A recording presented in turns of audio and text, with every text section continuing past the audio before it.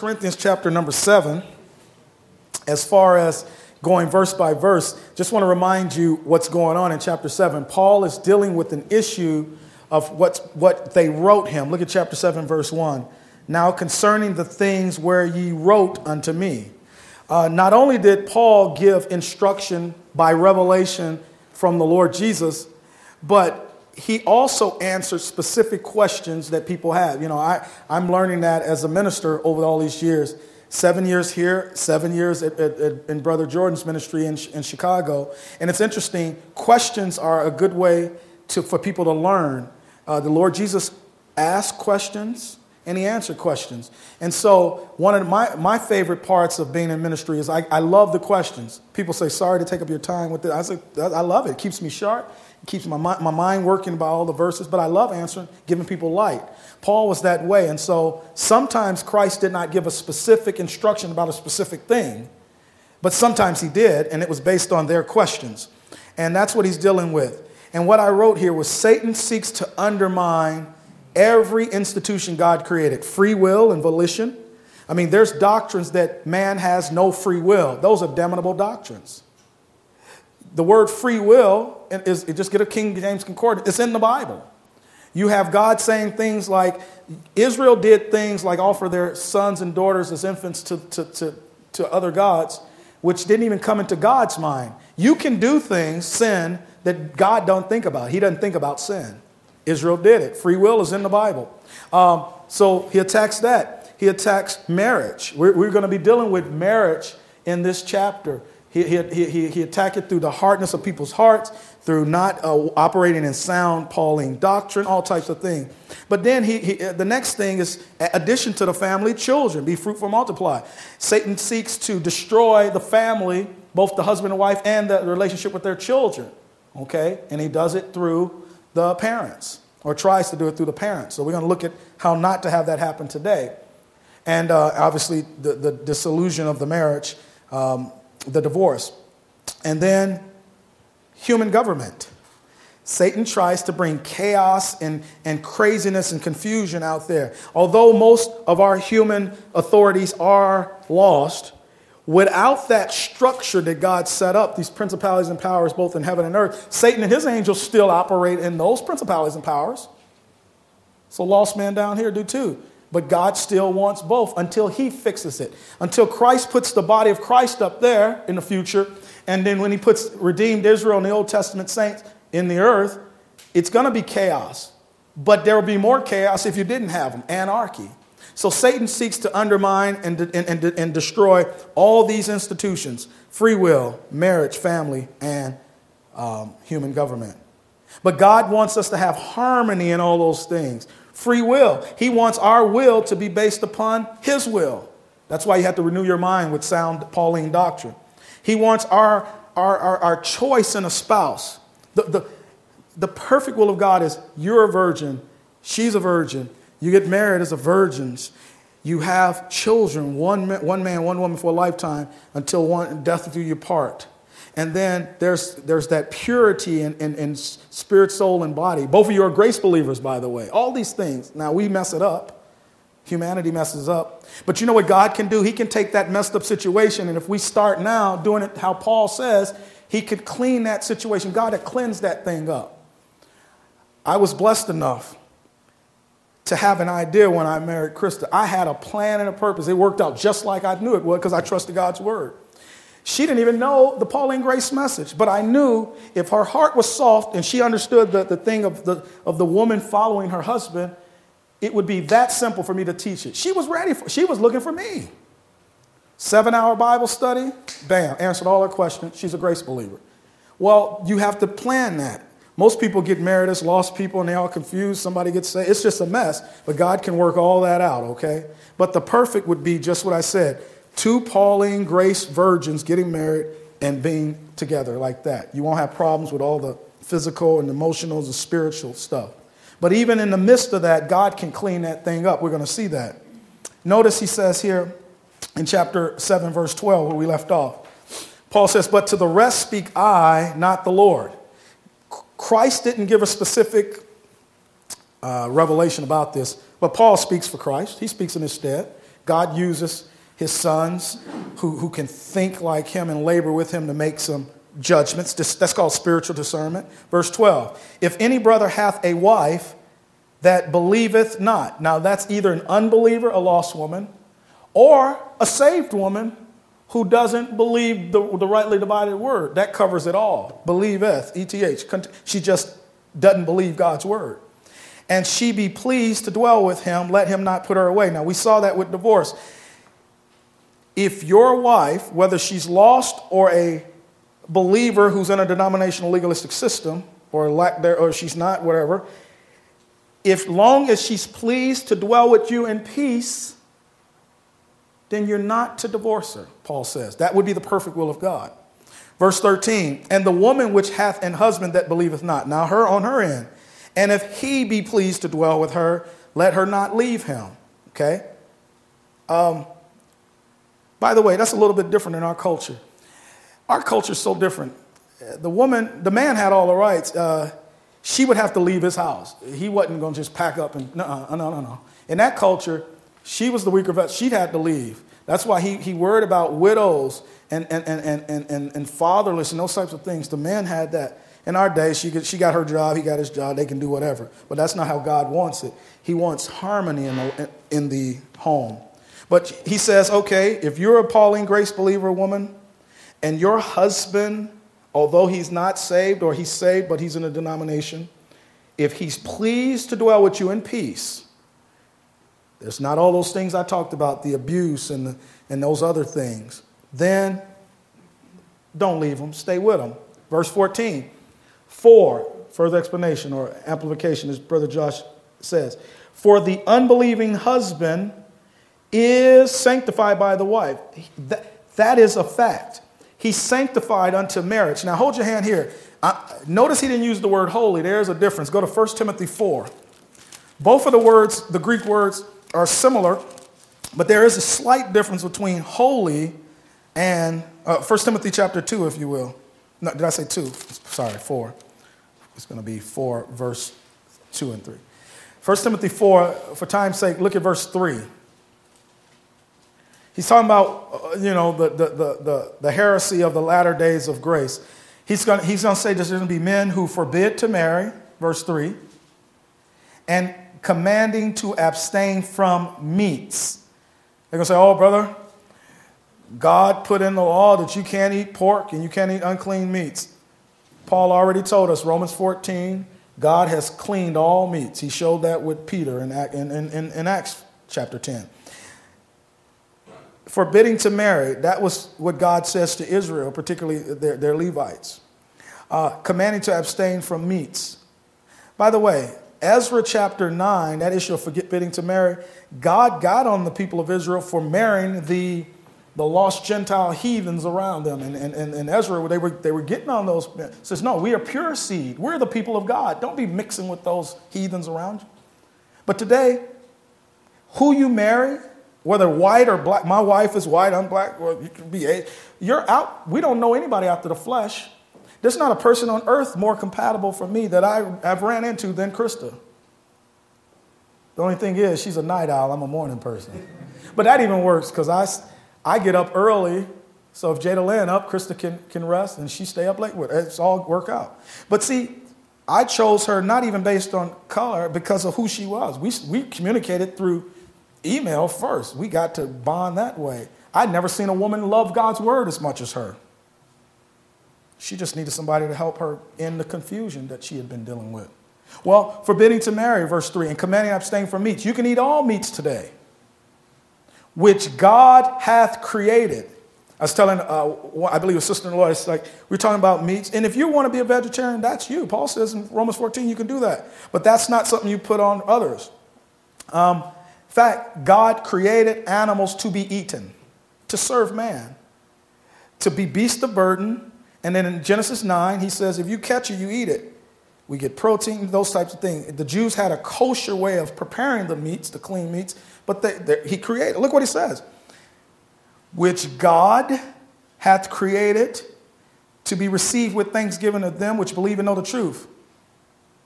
For every creature of God is good and nothing to be refused if it be received with thanksgiving. he said, believe and know the truth.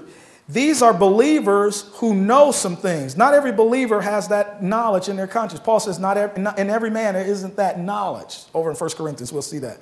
Not every believer understands and discerns things. It's us grace believers. And there's a knowledge of the truth. That's Pauline truth. And Paul says, every creature of God is good. You can eat any meats, and nothing to be refused. If it be received with thanksgiving, here's why. For it is what? Sanctified by the word of God. God says it is, so that's good enough, and prayer. Why both?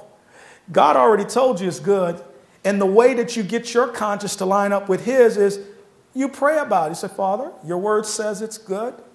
Uh, think about a Jew in that day who, was, who couldn't eat swine, and his family had been steeped into that for 1,500 years under Moses. All of a sudden, like Peter is over in Galatians 2, he's eating with the Gentiles. He might have had swine. I'm not saying he did. He could have, or, but if he didn't, his conscience didn't let him, that's fine. But if he's praying like he got that vision, don't call anything unclean that I have clean. Peter could have prayed about it and actually submitted his conscience to eating swine, bacon, ham. God gave him that freedom. That's what he's talking about. It's sanctified, it's set apart for your use. It's not holy, but it's set apart for your use. Holy means set apart for God's use. Now, I'm going to show you something. It is sanctified by the word of God, God says it's good, and prayer. You pray to God, and that helps your conscience. Now, and, and it tells Josh and I if we, if, we if we put the brother in remembrance of these things, these of grace, we'll be good ministers. There you go. Nourished up in words of faith and good doctrine. So we're, we're to remind you of these things. Now go back to 1 Corinthians 7. Now, you come to this passage in chapter 7, verse 14, about children. Now there's a lot of there's a lot of different ways that people, men interpret these things. I'll show you what I see from Scripture, okay? Verse 14 For the unbelieving husband is sanctified by the wife, set apart for the marriage. And by the way, not just for the marriage, we're about to see the unbelieving spouse is set apart for your use and for your children. So, for one, for the marriage. For the marriage. Uh, uh, I-A-G. But also for parenting, parenthood. Okay, I'm going to show you something. Just because your spouse is lost doesn't mean that makes them any less your, your child's parent. It's just your child's parent is lost. We're going to see that. So he's set apart, or she's set apart for the marriage, for your companionship. If it's a man, his wife, he protects her physically. That knock in the night, don't send your wife down there. You go check it out. Um, the physical, you know, whether you're lost or saved. By the way, if you marry somebody, I'm sure something made you marry that person. Now, if it's my daughter, it's going to be shotgun with these guys. no, I'm just kidding. I mean, you, marry somebody, there's some type of attraction, okay? But then you now bring children into that union, which marriage is for. That one, the second thing marriage is for, is besides companion, is for childbearing, child, child, uh, chil- multiple, be fruitful, multiply children. Okay, we're going to see that. And now your spouse has another huge job. Second, look, your spouse comes first. I think sometimes we put it backwards in our culture. Even Christian men and women do this, particularly the woman. Your husband is first with a huge gap like the Grand Canyon to your children. Your children just want mommy and daddy to be in love. They don't see daddy as the low life and mommy as, you know, no, no, no. They don't see them like you see them when you're going through the divorce or separation. The child is caught in the midst, straight betwixt two. I love mommy and daddy alike. And then they're going to blame themselves. So here's the Grand Canyon.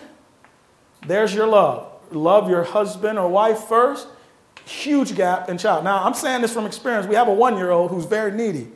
And yes, you got to give him all that. But as Jada Lynn grows older and is less needy, Chris and I we're going to give each other even more time. We're just kind of biding our time because she's a baby. Because once she's out and I, I hand her over to her husband, if she chooses to get married, it's just me and Krista now.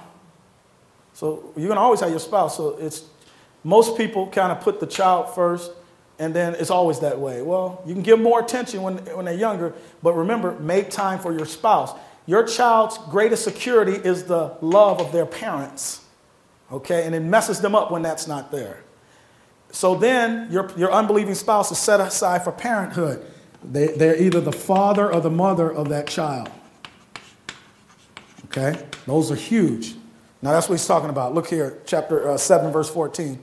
For the unbelieving husband is sanctified by the wife, and the unbelieving wife is sanctified by the husband. Else were your children what? Unclean, but now are they holy. Now, what's that all about? Holy means set apart unto God. Now, interesting. Hold your hand here. Let's go through some verses. Hold your hand here. Go to Genesis chapter 18. Genesis chapter 18. What is this? Your children unclean, but now are they holy? Genesis 18. Look with me at verse number 17. Genesis 18, verse 17. Oh, I'm all out. Genesis 18, verse 17. In the context, the Lord is going to destroy Sodom and Gomorrah, but he has this, this new man in earth called Abram, Abraham, that he's dealing with him and his people because Abraham believed God. Now, watch this. Verse 17. And the Lord said, Shall I hide from Abraham that thing which I do? Talking about destroying Sodom. Seeing that Abraham shall surely become a great and mighty nation, there's Israel, and all the nations of the earth shall be blessed in him, that's the kingdom. Verse 19, now watch this. For I, what? Know him. God says, I know Abraham that he will command his what? Children and his household after him. And they shall keep the way of the Lord to do justice and judgment, that the Lord may bring upon Abraham that which he's spoken of. He says, Abraham keeps my ways, and he will teach his children and his household. Abraham had other people in his house, uh, servants and stuff. Everybody's going to do it God's way. God, because of Abraham's faith, the children of Abraham, Isaac, even Ishmael for a while until he was sent away, Ishmael got circumcised. They were blessed and set apart unto God.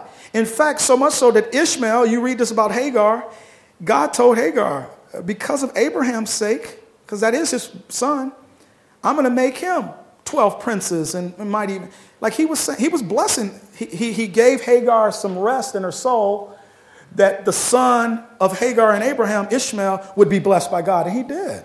He did. All because of Abraham's faith. That's the thing. It's all through Scripture. I'm going to show you something. We're going to build up to this. Uh, Lot. Lot, later in, in, the, book of, the book of Genesis, there's a man named Lot, Abraham's nephew. Before he was going to destroy Sodom and Gomorrah, they get Lot and his Lot's wife. She was an unbeliever. The Lord says to Israel, He says, I'm going to tell you what's going to be in the last days. That, that destruction that came down, I think it'll be nuclear warfare. He says, Remember Lot's wife. Remember what happened when she stayed back. Remember what happened when she didn't believe my word through the angels. She was caught in the pillars. So Lot brought his wife out, he brought his daughters out. But his wife was an unbeliever, so she, God says, don't look back. She looked back and became a pillar of, of, of salt. She was an unbeliever, but yet God was going to deliver, to deliver her from the penalty and the wrath if she would have just listened to God's word through her husband. Just follow your husband, I'll deliver you. She didn't even believe, long as she was with her husband. That's what I'm saying. In that case, the children were delivered. She was grown. She can do what she wants. She looked back, done. The children were delivered. Now we know what happened. They got their father drunk, became Moab and Ammon. but that how about Job? Go to Job chapter 1. It's all through scripture, and I'm, I'm going to show you why I'm bringing all these up. That issue of your children unclean, but now they holy. Job chapter number 1. Job was doing some things. In the Middle Eastern culture, you're under your father's dominion. That's just the, I mean, when you hand your daughter over in a marriage ceremony, she's going from your authority. The woman always going to have power over her head. because of the angels. 1 Corinthians 10. A woman always has to have a spiritual covering. Always. If you're single or widowed or divorced, it's the, it's the brethren, it's the leadership of the local assembly. And, and there's some practical things by listening to your brother or listening to your father, the way the men mind work to protect you from things. But spiritually speaking, it's the brothers in the Lord, okay, if you don't have a husband or, or a son. Uh, my mother, I'm her protection. Uh, when Christ was on the cross, there's his mother Mary down there, there's John. There were other brothers of Jesus there uh, uh, alive, James and Judas and Simon. And he didn't say, Mom, my brothers are with, you know, your other sons will take care of you. They didn't believe. He looked at John, he says, Man, behold thy mother. Woman, behold thy son. Because John was a believer. Christ didn't even put his mother, Joseph was dead by then, in the hands of his own brothers because they were unbelievers until after the resurrection. I mean, I understand that. Something happened to Krista and I. We have to think about okay, who we're going to put Jada Lynn into. And it, not, her, not her side of the family. No, no, no. They're believers, but they're not grace believers. No. It's going to be Josh and Michelle. We didn't tell y'all that, did we? We're going to write that up. They having a little girl, so if anything happens, we go be with the Lord. You, Abigail have a big sister. There you go. Well, we have to think like that. They're young. They have a little. Girl. I mean, they could. They could. You know, you got to think like that. We, Chris and I have saints here who have deeded their young children to us because they trust us. They know, number one, they're going to be raised in the grace message. I know that's going to happen to Josh unless he lost his mind sometime around the road. Well, there's a sanctum. I know he won't. I'm just playing. It could happen, so it could happen to any of us. But we we we be praying for him, and I know his heart for this word. The chances of it happening is. Well, look at Job. Job chapter one. Look at verse five. Oh yeah yeah oh yeah yeah. Here we go. Verse 5 And it was so, speaking of Job's children, when the days of their feasting were gone about, that Job sent and what? Sanctified them. Now, what's he doing? And rose up early in the morning and offered burnt offerings according to the number of them all. For Job said, It may be that my sons have sinned and cursed God in their hearts. Thus did Job continually. You see what's going on? That culture, that middle, Job was one of the sons, I believe, in the line of Issachar it says in the Bible. One he, was, he, was, he, was a, he was a Jewish man. Um, in that culture, Job's sons are feasting, having their little feast and doing their things. They're young men. But because they're still in their father's house, Job is actually going and offering sacrifices on their behalf, saying maybe, perhaps they cursed against God. And what Job was doing was sanctifying them unto himself under his, his, his uh, fatherly authority but he was able to do that in that culture to, uh, he was offering sacrifices on their behalf. And, and, and, and God, God allowed that. He allowed that.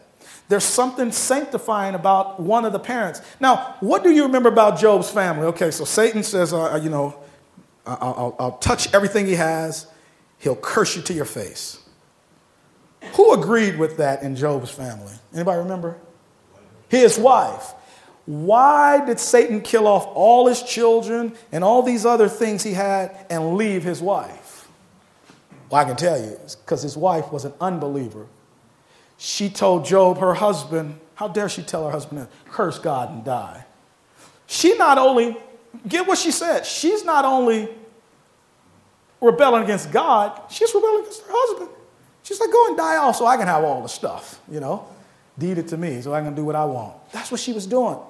Satan left her because women, Satan will use you to bring your husband down.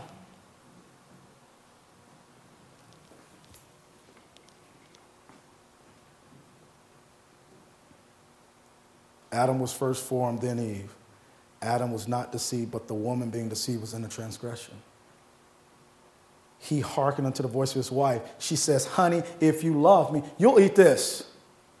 You're either going to be like the Proverbs 31 woman, do him good and not evil all the days of his life, build that man up to a more godly man, or you're going to bring him down. Satan's going to use you to bring him down. My, that's my topic in the Seattle conference godly women. We're going to be in 1 Timothy 2. And I, as I've been studying that out over the years, that's going to be the way. That's going to be the way. That's going to destroy that man. That's what Job's wife did. She spoke as the foolish woman. Curse God and die. I don't like God. I don't like you either. Well, God blessed Job's family not because of his wife, the unbeliever's sake, but because of Job's sake. And God endured his wife because of Job. God endured the children because of Job. You understand? I, I was thinking about Jacob. Jacob went into Na- uh, Nabon's, uh, am I saying his name right? Laban's home. His unbelieving, shyst, more shyster than him, uh, uncle, who was using him, who bamboozled him. He worked seven years for Rachel. He had to fulfill the week for, for, for Leah, too, 14 years. He changed his wages 10 times. He was a shyster, but, but Jacob, he was too. And God kept blessing Laban's family and, and, and business for Jacob's sake.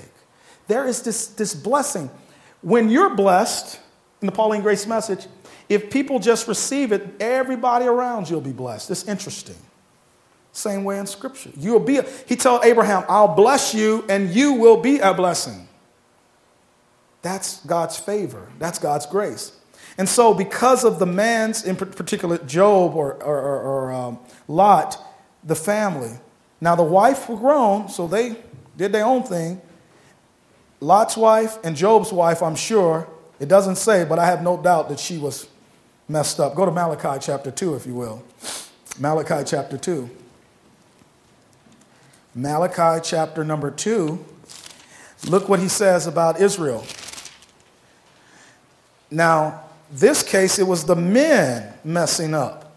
Malachi chapter number 2, look at verse 13.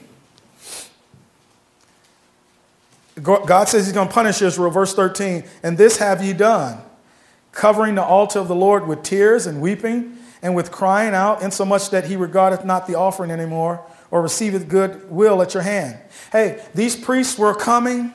They were saying, Oh Lord, get these Gentiles off our back. Bless us, bless us. Why aren't you blessing us? I, I talk to saints all the time who don't know right division. They say, Why did God let this happen? I'm, I'm doubting my faith. I said, God didn't let nothing happen. He let it happen, but that's your problem. You don't listen to Paul. The more you listen to Paul, the more blessed your life is. And the opposite is true. Israel was blaming God for their problems. God says, You're not listening to my word. And one of the things they were doing that was grievous is how they were treating their own wives. Watch this, verse 14. Yet ye say, Wherefore? Why, God, are you not taking care of us, blessing us? Because the Lord hath been witness between thee and the wife of thy youth. You know what he's saying? I've been watching how y'all been dealing with your wives. And that's why I'm doing this. Watch this. Against whom thou hast dealt treacherously, yet is she thy companion? Oh, excuse me, yet is she thy companion and the wife of thy covenant. Hey, he says, when you got married, dude, you made a vow. That woman's your companion. She's your wife. You're her husband, and that word husband is like husbandman. You got to take care of her, buddy. You got to nourish her and cherish her. That she's yours. And because Israel's, particularly their priests, eh, eh, weren't doing that, God wasn't blessing the nation. Now watch this. Verse 15. And did not he make one? Watch this. He said, Go back to the beginning. The Lord Jesus Christ did it too. They asked him about marriage. He says, What did God do at the creation? He made a male and female one. They two shall be one flesh. Didn't he do that in the beginning? I mean, when did God change that? The answer, he never did. It's still that way. And even though it's been about this time, 3,600 years Malachi is after Adam. Watch what it says. Verse 15. And did not he make one? Yet had he the residue of the Spirit. What is that? What God did back here 3,600 years earlier, he never did change. Mankind had messed it up. Mankind rejected how God does things. How much more in our day? But God never changed his purpose for marriage. There's a residue, just a little bit of that spirit there but it's there. That's what he said, a residue of that thing, what he did back here. That thing's going to go all the way through. Just because mankind says, oh, two men can marry one another, two women can marry one another. God says, I didn't. I didn't do it that way. One man, one woman, one lifetime. But because of sin and hardness of human hearts, we mess it all up. But the way God did it, it's still there. The residue of the Spirit, verse 15. And did he not make one? Yet had he the residue of the Spirit. And wherefore one? Why did God make a male and female and give them in marriage back in the beginning? Watch this. That he might seek a what type of seed? Godly seed. Therefore, take heed to your spirit and let none deal treacherously against the wife of his youth. The whole reason God created Adam and Eve to be fruitful and multiply is so that he could make holy children, godly seed. That's the purpose of marriage outside of companionship. The second purpose of marriage is first, number one, companionship, companion. Two, to raise up godly seed. Children are a heritage unto the Lord. It says, I, t- I, you know, I think about this. I thank God. One of the jobs of a wife is to allow her husband to, to pour into her uh, his heart. And so I, I, the person I talk to the most is obviously Krista about spiritual things.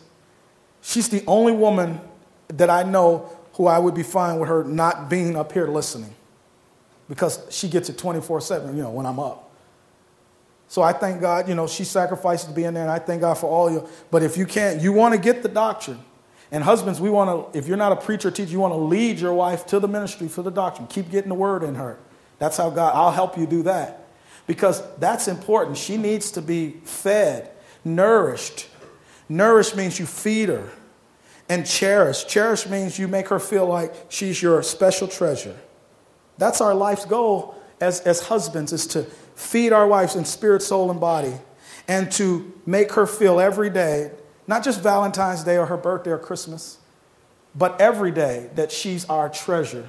I'm talking to myself, you know, when I do that, I got all, you know, I remember we started this ministry. My wife, I remember it like it was, we, we came here. I, can't, I moved here to Minnesota for her. So she can be close to family. But when I got here, she's like, we moving to Arizona. I go, yes, we both hate snow. We're moving. We had it planned out. Problem was, I had started, you know, ministering with some saints. Brother Mike Orvis, he, he was on his way for job opportunity to Pennsylvania. Chris and I had checked. We made, uh, made plans and all that. Brother Mike said, Brother Ron, you know, you've been around. Mm, I know you're Brother Jordan's ministry all those years. Can you help build this ministry? I have to go. And so I said, I said, Mike, I already made a promise to take my wife somewhere warm, but I got to go talk to her. So I went and said, honey, you know, as much as I wanted to minister, right? I said, well, dear, how do you feel about that? I know we're supposed to move to warm, but Mike said, you know, we got to do this. I said, we'll do this for, for now and everything. We build it up. And she says, okay. I said, really? You're going to endure these colds? She says, I do it. It's for the ministry's sake. So, praise the Lord. Praise the Lord. So I did tell her, though, one day. I ain't going to Oh, sorry. Nah. But you know what? The point was I had to ask her that because I love her. And if she would have said, no, dear, I want to move, I want to go, I'd have said, Brother Mike, I love you guys, man, but I got to do this, man. I, I didn't put my thing to be minister. Because you know what I know? I could have went down to Arizona and helped Brother Rick Jordan down there. They need help. They need help everywhere. I got guys calling me all over the world talking about they need help. But I decided my wife is here, her family's here. Eventually, once we build up, we'll, there'll be options down the road. But the fact is, that wasn't my number one intention. It was to see what my wife wanted. And once she says amen to it, I was like, let's do it then. Well, that's because I want to nourish her and cherish her. And that's an everyday thing, man. That's our part, okay? Wives, you use who God has made you to build your man up in that faith, make him a godlier man. And men, we do the same with our wives by nourishing her and cherishing her. Brother Josh will go over that in the book of Ephesians in detail. Go to 2 Timothy chapter number 1. Let me show you something about this now are they holy. I was thinking about get I wanted to get an example of this and I and I found it I believe 2 Timothy chapter number 1 for the body of Christ. 2 Timothy 1. What does it mean? Else were your children unclean, but now are they holy. In fact, not just 2 Timothy 1, go to 2 Timothy chapter 3 first. And it hit me just this morning. I'm just thinking, I think about it all week and just said, damn. I said, look, Timothy. 2 Timothy chapter 3, look at verse 15.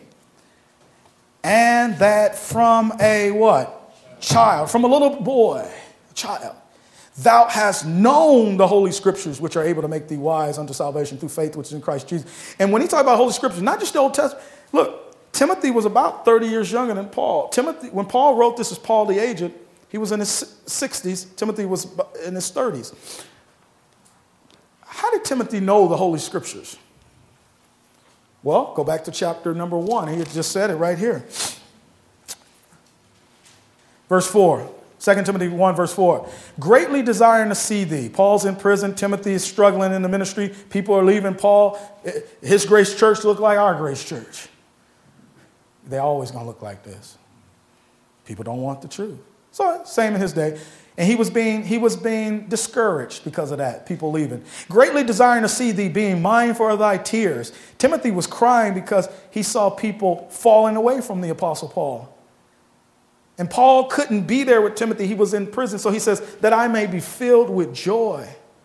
When I call to remembrance the unfeigned faith. That's just not, uh, it's like unhypocritical, but it was something that wasn't phony or fake. In fact, it was real. That's what he's talking about. The unfeigned faith that is in thee, Timothy. He's reminding him, remembrance. He says, Timothy, you're a real believer, man. You know this truth. You stand for it. You have stood for it, and you will stand for it. Be strong. He tells him in chapter 2, Therefore, my son, be strong in the grace that is in Christ Jesus and take that information I gave and you teach others and then teach others, trust God. So here he says, that unfeigned faith that is in thee, verse 5, which dwelt first in thy father, huh? Oh, which dwelt first in thy grandmother Lois and thy mother who? Eunice. Well, Timothy had to grow up like I did without a father, huh? Uh-uh. Go to Acts chapter 16. The sad state of this affair is Timothy had a father. Timothy's father was supposed to teach him the Word of God. Problem was, from the record, it looks like Timothy's father, uh, well, I can make that assumption from the two witnesses that he, what he was and, and what it says about if it was his father, Paul would have said your father and your mother, your parents, or your father, mother, and grandmother. Paul makes it clear that the people who had the spiritual influence in that young man's life was his mother and her, her, her, her, his grandmother, the women. Now, why? He had a father. Acts 16, look at verse 1. Then came he to Derbe, speaking of Paul and Lystra. And behold, a certain disciple was there named who? Timotheus. That's Timotheus and Timothy, same name. Timotheus is how you would say it as, as how Jews would say it, and Timothy is how Greek would say it. Anyway, the, the son of a certain woman, well, he just mentioned his mother over there, which was a Jewish and did what? Believe, but his father was a Greek. Now, I can, from that and other passages, I could tell you his father wasn't a believer because it would have said his mother and his father were both believers. She was a Jewish woman who didn't do the wisest thing. It's like today, if you were a believing woman, particularly a young woman, you get your heart into some lost man. Well, you know, I can teach him. no, no, no. What I did with Krista, that's the normal dynamic. And I was a teacher of God's word and these things already for seven. There was that was that's the normal dynamic from man to woman, man to woman. That's an uphill battle from woman to man. When, you know how many sisters in the Lord email me about trying to share with some? Mm-mm. I suffer not a woman to teach, nor to usurp authority over the man. It's not going to happen. That dynamic is. Mm-mm. Timothy's father was supposed to minister spiritually to his wife and to his son. You know what it says there? The mother was. She got, she did what the saints do today. Women particularly get their hearts into some lost man thinking, ah, if I just deal with him, you know, he's a nice fella. He's cute, you know, like that's to do anything. He's cute and lost. And I'll just have him come to church with me. If I just bring him on, you know, bring your family day or your friends day and maybe, no, it ain't gonna work. Where he's going is where you're going. lead captive silly women laden with sins. It's going to go that way. I don't know. Uh, well, I know of one case, and that's because this guy had no religious affiliation whatsoever. In fact, he was anti, he learned the grace message. She just brought him to church, and then I did the rest. But that's, that's it. I, I don't know where a, a, woman who knows the grace message shares it with a, a lost guy or a religious, and then, yeah, well, it, it's, it's very few and far between, okay, the dynamic. Here, the mother was a Jewish. She messed up and got with this lost guy oh, how Timothy would have. You, you, I'm going to tell you something. That affected Timothy's personality. It made him timid. His father, if his father was a believer, he would instill that same strength of a man into his son to be strong. Paul had to tell Timothy, he was very timid spiritually. Even though he was a believer, had a soft heart, which made him a good believer. I can understand it. Not having my father in my life. My mother's scary, you know. Don't y'all tell her that. She's scary. She's soft hearted. I got her soft heart, but she always worried about things, didn't want me to play ball because I would get hurt. Boys get hurt. But I, yeah, I, and it's good for the ministry because I can block stuff out, but it, it, it brings a timidity to a, a man, a boy, a man, that if you had a father, you got to have somebody who in your corners you can feel like, okay, I can make mistakes and he's with me yeah, I could be free and be a man and make mistakes. I know he's with me. I didn't have that. Is you know, so I can see how Timothy's father just being a derelict spiritually affected his life. It does. But can I tell you, ladies, do you know that even though she married this unbeliever, Gentile, even though he didn't do anything spiritually speaking for his family, his wife, or his child, she stayed with him knowing this principle? Because at least he had a father. It could, you can teach him how to do some man things, you know. Didn't do nothing for him spiritually. That's why that's the issue in 1st, 2nd Timothy, to be strong spiritually in the grace. But Timothy, he had, he had a pattern to be a man. Well, he used his father, as lost as he was, he was set apart to parenthood. And had the mother said, Well, he's not a believer, I'm just going to leave him, and I'm taking the son too, then that would have messed Timothy up. It would have messed him up. But let me tell you, her faith, ladies, her faith. How hard it is to talk to sisters in the Lord who come to know this and their husbands don't. Most of them are lost. Spiritually speaking, they don't care about this religion stuff. And they have children, particularly sons, who look at their daddy. Even if their father is lost, I mean, that's your hero, that's your, just your dad. And the effects on the sons is tremendous that their father is nonchalant about things or, or unbeliever. And the mother fighting an uphill battle, but it can happen. I tell them, remember Timothy's mother. Remember Lois and, his, and, and Eunice, uh, his mother, grandmother. Their faith, their faith. These women made their, their young son Timothy a strong grace believer. So, ladies, even if your husband's not doing his part, you can do that. That's what God is talking about. Go over with to 1 Timothy, 1, 1 Corinthians again. Go over to 1 Corinthians 7. This is a beautiful picture of now are they holy. Now, watch this. Verse 14. For the unbelieving husband, Timothy's father, is sanctified by the wife, the believing mother. The believing wife is sanctified by the husband if it was opposite. Else were your children unclean, but now are they holy.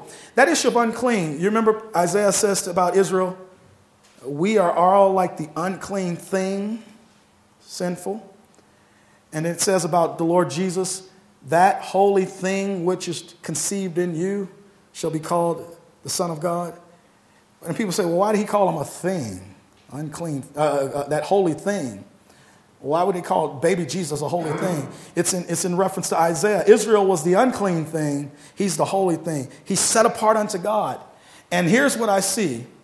If one of the, if one of the parents is a grace believer, a Pauline grace believer. That's what he's talking about. He's not just talking about being saved. Bring them up in the nurture admonition of the Lord.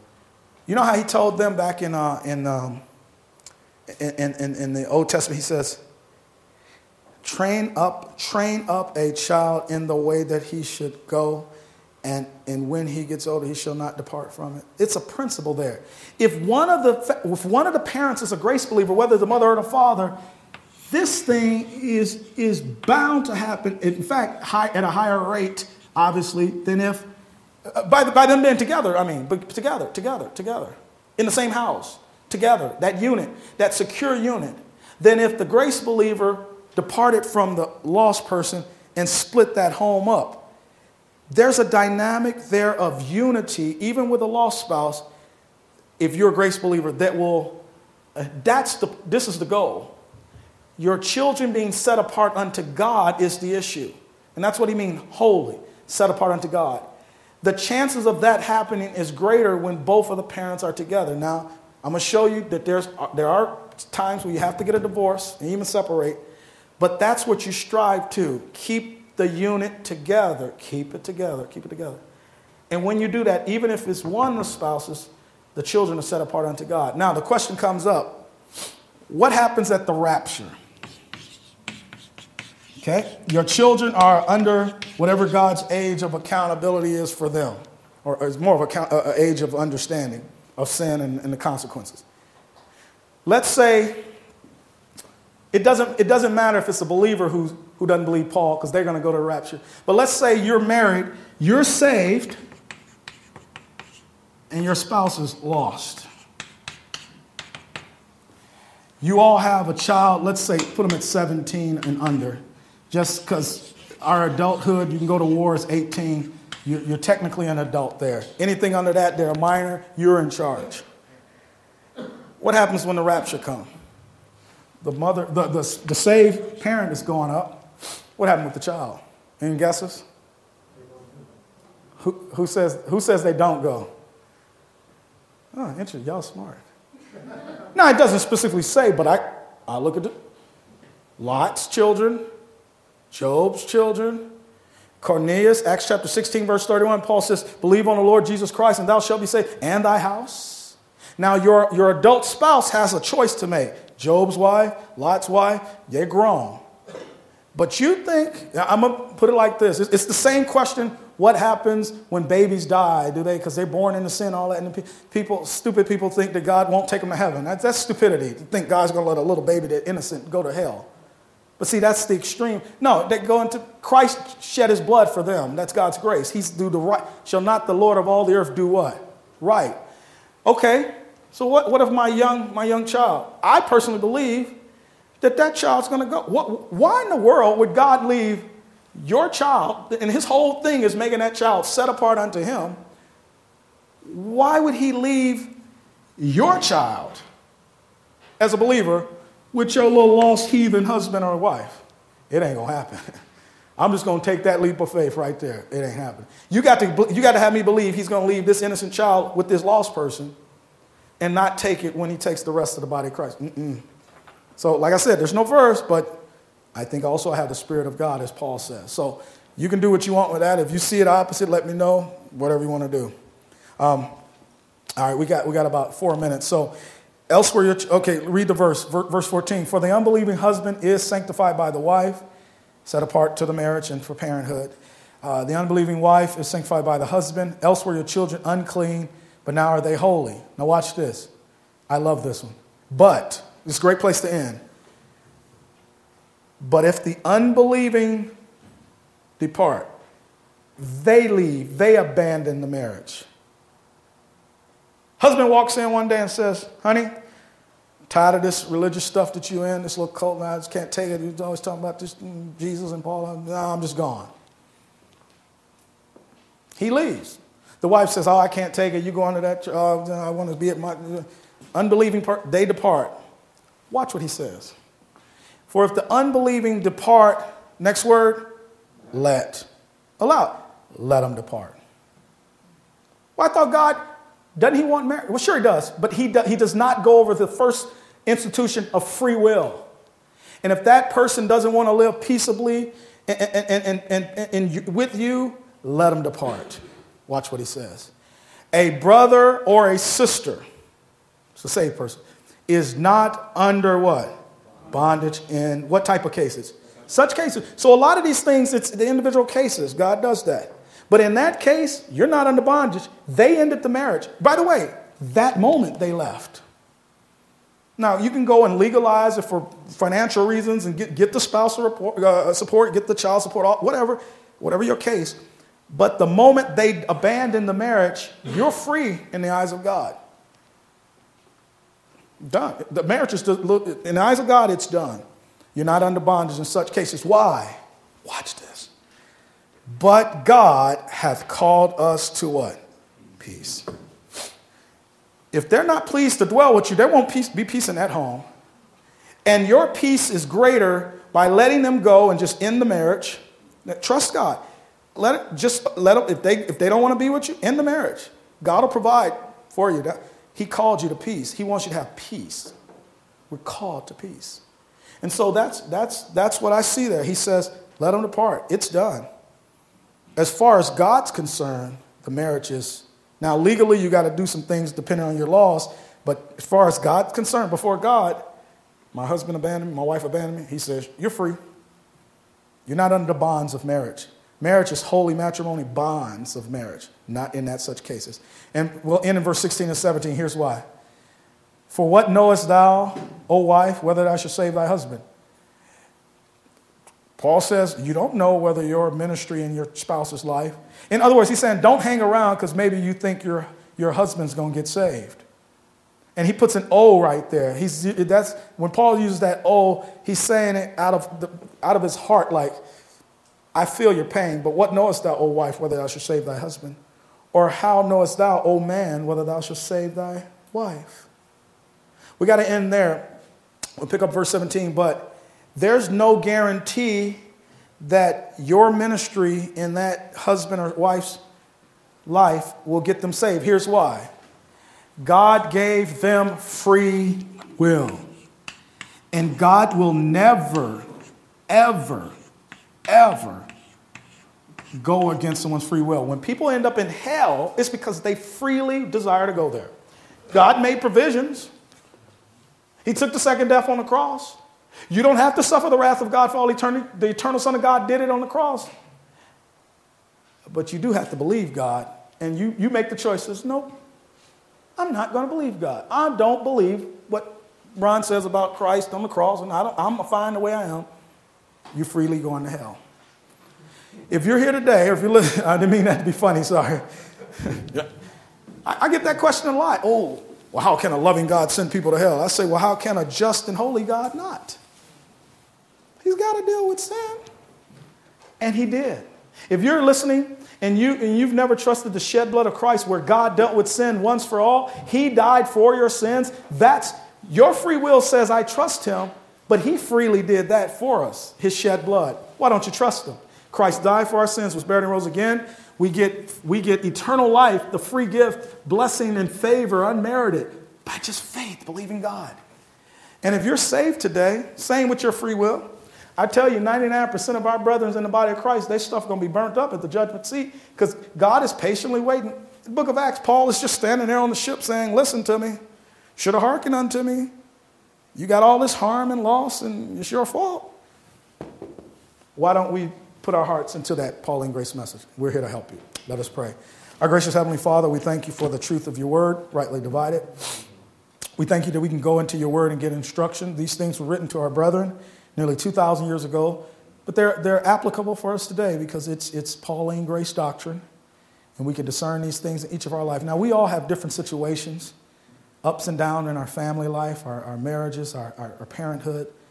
And, so, in such cases, you'll, you'll give us the, the particular instruction for us. But we do thank you for these general instructions. We thank you for your word to look into, to get wisdom and understanding. May you make these things clear to us in our own particular cases. May you give us great insight and understanding, more, more importantly, hearts of faith to believe your word. We give you thanks and praise in Christ's name. Amen.